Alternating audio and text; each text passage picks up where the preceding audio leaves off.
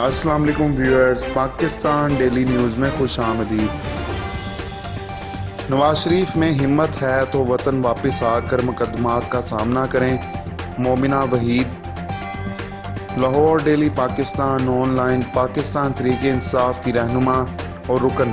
Punjab assembly, Momina Waheed ने कहा है कि नवाज़ शरीफ में हिम्मत है तो वतन वापस आकर मुकदमात का सामना करें ओपोजिशन जमातें एपीसी पर किसी और को नहीं, बल्कि अपने आप को धोखा दे रही हैं। सियासी बेरोज़गार, जेन नशीन कर लें, अवामी वजेराई ए पी सी से नहीं मिलती। अवाम की खिदमत ही असल सियासत है जो तरीके इंसाफ की हुकूमत का तरह इम्तियाज़ है। मीडिया से गुफ्तु करते हुए मोमिना वहद का कहना था कि अवाम को इमरान खान की जरूरतमंद और शफाफ क्यादत पर पूरा अतमाद है। अवाम के मुस्रद शुदा अनासर के हाथ पहले कुछ आया है, ना आइंदा आएगा। ए पी सी से कुछ नहीं निकलेगा ओपोजिशन पहली तकसीम हो चुकी है। अब ओपोजिशन जमातों में से मज़ीद फूट पड़ गई। ओपोजिशन ने फिर साबित किया है कि वो सिर्फ़ ज़ाती मफादात का तहफ़ चाहती है। उन्होंने कहा है कि ओपोजिशन जमातों ने कौमी मफादात को यकसर फरामोश कर दिया है। कौम का पैसा लूटने वाले एपीसी के नाटक के ज़रिए अवाम को गुमराह नहीं कर सकते। ओपोजिशन मुल्क की तरक्की व खुशहाली रोकने के दर पे है और ये अनासर मुल्क को तरक्की की राह में रोड़े अटकाने की कोशिश कर रहे हैं। ओपोजिशन का मनफी किरदार अफसोसनाक मुल्क मज़ीद खलफशार का मतमल नहीं हो सकता। नून लीग के नाम नहाद दस्तूर जितना मर्ज़ी प्रोपोगंडा कर लें अवाम इनके बहकावे में नहीं आएगी मुसरत जमशेद चीमा। लाहौर, डेली पाकिस्तान, ऑनलाइन पाकिस्तान तरीके इंसाफ की रहनुमा और चेयरपर्सन कायमा कमेटी बरए दाखिला पंजाब मुसरत जमशेद चीमा ने कहा है कि वज़ी अजम इमरान खान ने अकवा मतदा की जनरल इसम्बली से अपने मौसर खताब के ज़रिए खुद को उम्मत मुसलमान का लीडर साबित किया। कश्मीरियों और फ़लस्तीनियों के हकूक़ पर दो टोक मौक़ अपनाया। मुस्लिम लीग नून के नाम नहा दस्तूर जितना मर्ज़ी मनफी प्रोपोगंडा कर लें, अब अवाम इनके बहकावे में नहीं आएगी। तफसीत के मुताबिक मुसर जमशेद चीमा ने कहा है कि वज़ी अजम इमरान खान ने अकवा मतदा में एक बार फिर तहरीकी खिताब करके कौम का सर फ़कर से बुलंद कर दिया है। वज़ी अजम इमरान खान ने मजलूम कश्मीरियों का मुकदमा दुनिया के सामने डट कर पेश किया। तस्लीम किया गया है कि वज़ी अजम इमरान खान की जनरल असम्बली में की गई तकरीर इतनी पुरअसर थी, बावकार और शफाफ क्यादत होने की वजह से दुनिया पाकिस्तान की बात को अहमियत देती है। उन्होंने कहा कि वज़ी अजम इमरान खान ने जहाँ एक तरफ़ भारत का भयानक चेहरा पूरी दुनिया के सामने बेनकाब किया है वहीं पर ज़िम्मेदार मुल्क की सरबराह की हैसियत से हमसायों से दोस्ती का हाथ भी बढ़ाया है। मुस्लिम लीग नून के रहनमा के नाम नहाद दस्तूर इसलिए परेशान है कि पाकिस्तान खारजा महाज पर क्यों कामयाबियाँ समेट रहा है? मुश्किल के बावजूद हमारे माशी अशिया क्यों बेहतरी की जानब गामजन हैं? नाम नहाद दस्तूर जितना मर्ज़ी मनफी प्रोपोगंडा कर लें, अब आवाम इनके बहकावे में नहीं आएगी। मैं भी इस मीटिंग में नहीं जाऊँगा जहाँ बिलावल नहीं होगा। शेख रशीद ने मुस्कुराते हुए बिलावल भुट्टो से अपने प्यार का इजहार कर दिया। लाहौर डेली पाकिस्तान ऑनलाइन विज़िट रेलवे शेख रशीद का कहना है कि मैं मीटिंग में बिलावल भुट्टो के लिए जाता हूँ, लेकिन वो आने से इनकारी हो गया। ऐसी बातें तो काउंसलर भी नहीं करता, जैसी बिलावल करता है। वफाकी वजी रेलवी शेख रशीद ने निजी टीवी चैनल 92 न्यूज़ के प्रोग्राम में बातचीत करते हुए कहा कि आर्मी चीफ ने वाजा कर दिया है कि हम इस हुकूमत के पीछे खड़े हैं। अगर कल को किसी और की हुकूमत होगी तो हम इसके साथ भी खड़े होंगे। एहसन इकबाल और ख्वाजा आसिफ ने जनरल फैज़ और आर्मी चीफ के साथ लंबी मुलाकातें की।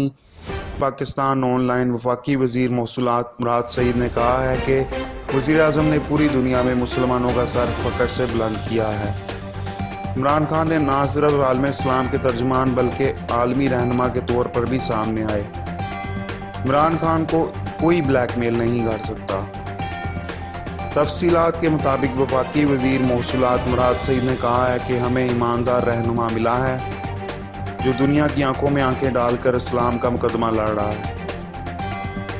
वजी अजम इमरान खान के अकवा मतहदा की जनरल असम्बली के पचहत्तरवें अजलास से खिताब से कबल ही भारतीय नुमाइंदों ने राह फरार इख्तार करके शिकस्त तस्लीम की। उन्होंने कहा कि पहले क्यादत पनामा, इकामा और जाली अकाउंट्स वाले के पास थी। पहले हाथ में पर्ची, झुके सर और डम पर्ची वजूर कहने वाले थे। पहले मोदी को घर बुलाते थे झंडाल की दावतें होती थीं। खटमंड में खुफिया मुलाकातें होती थीं, जो कलभूषण का नाम लेने से कबल ग्रेस करते थे। उन्होंने कहा कि करप्शन से भरपूर जरदारी लीग ड्रोन हमले पर खामोश थी। जरदारी लीग आँखों को खुश करने के लिए मजीद ड्रोन्स का मुतालबा करती थी। कहती थी, मजीद ड्रोन गिराते रहो, हम संभाल लेंगे। करपिट की आदत की वजह से मुल्क दहशत गर्दी का शिकार था, लेकिन आज पाकिस्तान टेररिज्म से नहीं, बल्कि टूरिज़्म से पहचाना जाता है। मराज सईद का कहना था कि आज दुनिया प्रमोट्स का मुतालबा नहीं करती, बल्कि अफ़गानिस्तान में मदद की दरख्वास्त करती है। इमरान खान को कोई ब्लैकमेल नहीं कर सकता। आज दुनिया में पाकिस्तान इस्लाम का असल पैमाना सामने आ गया है। मुसलमानों को आज मज़बूत आवाज़ मिल गई है, जो अकवाम आलम में गूंज रही है। पूरा आलम इस्लाम आज शुक्रिया इमरान खान कह उठा है। नवाज़ शरीफ के ट्वीट पर चौधरी फवाद हुसैन भी मैदान में आ गए। नून लीगी कायद पर सगीन इल्ज़ाम आयद कर दिया। Islamabad daily Pakistan online Pakistan Muslim League Noon के कायद। मियाँ नवाज़ शरीफ के एहतसाब के हवाले से हालिया ट्वीट पर वफाकी वज़ीर science and technology Chaudhry Fawad Hussain ने जवाब देते हुए सबक वजी अजम पर संगीन इल्ज़ाम आयद कर दिया। तफसीत के मुताबिक मियाँ नवाज़ शरीफ ने मार्केटिंग ब्लॉगिंग वेबसाइट पर अपने एक ट्वीट में इस्लामाबाद हाई कोर्ट के सबक जज शौकत अज़ीज़ सदीकी की वीडियो शेयर करते हुए कहा है, हकीकत इस एहतसाब की, जिसके ज़रिए आपने तीन बार मंतखब वज़ी अजम को इंतकाम का निशाना बनाया। सज़ाएँ दिलवाई गईं और इश्तारी करार दिया गया। मुझे सज़ा देते देते मुल्क को डबो दिया। अब हम इस मुल्क को मज़ीद तमाशा नहीं बनने देंगे। मियाँ नवाज़ शरीफ के इस ट्वीट पर तबसरा करते हुए वफाकी वज़ीर science and technology Chaudhry Fawad Hussain ने कहा है कि एक हकीकत ये भी है कि शौकत अज़ीज़ सदीकी आपकी तकरीरें लिखने वाले अरफान सदीकी के भांजे हैं। और इन साहिब को आपने ही सिफारिश के तहत जज तैनात करवाया था। मेरे खिलाफ झूठ बोलना बंद कर दो, वरना आर्मी चीफ से मुलाकात करने वाले मोहम्मद ज़ुबैर ने धमकी दे दी। Karachi, daily Pakistan, online Pakistan Muslim League Noon के रहनुमा। मोहम्मद ज़ुबैर ने आखिरकार वफाकी वज़ीर रेलवे शेख रशीद के बयान पर रद्दमल देते हुए कहा है कि अगर मेरे खिलाफ झूठ का सिलसिला बंद ना हुआ तो तमाम हकायक सबूत के समेत जारी करूँगा। तफसीत के मुताबिक पाकिस्तान मुस्लिम लीग नून की मरकज़ी रहनुमा मोहम्मद ज़ुबैर ने कहा है कि शेख रशीद अपने झूठ पर माफ़ी मांगें और बेबुनियाद प्रोपोगंडा बंद करें। सबक गवर्नर सिंध मोहम्मद ज़ुबैर ने खबरदार किया है कि अगर मेरे खिलाफ झूठ का सिलसिला बंद ना हुआ तो तमाम हकायक सबूत समेत जारी करूँगा। याद रहे कि आईएसपीआर ने बयान जारी करते हुए कहा था कि मोहम्मद ज़ुबैर ने आर्मी चीफ से मुलाकात की थी। जिसके बाद मोहम्मद ज़ुबैर ने भी मुलाकात की तस्दीक की थी।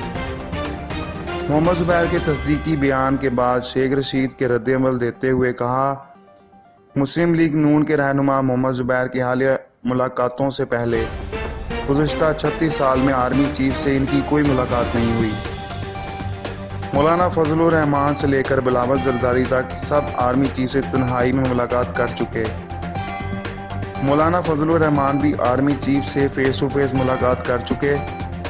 चैलेंज करता हूँ कि मेरी बात को झूठा साबित करें। मौलाना फजलरहमान मुल्क में शिया सुन्नी फसादा फैलाना चाहते हैं। हर हफ़्ता एक सियासी लीडर को बेनकाब करूँगा। ना इस्तीफ़ा देंगे, ना धरना देंगे, ना अदम एतमाद लाएँगे। ओपोजिशन अगर इस्तीफ़ा देना चाहती है तो दे दे। हम